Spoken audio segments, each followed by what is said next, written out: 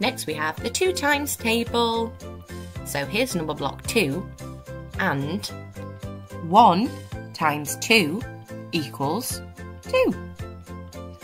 Then 2 times 2 or 2 lots of 2 equals 4.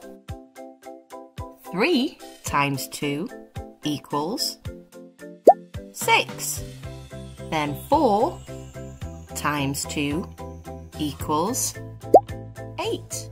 5 times 2 equals 10. 6 times 2 equals 12. 7 lots of 2 equals 14.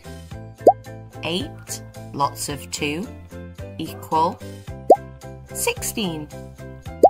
9 times 2 equals 18.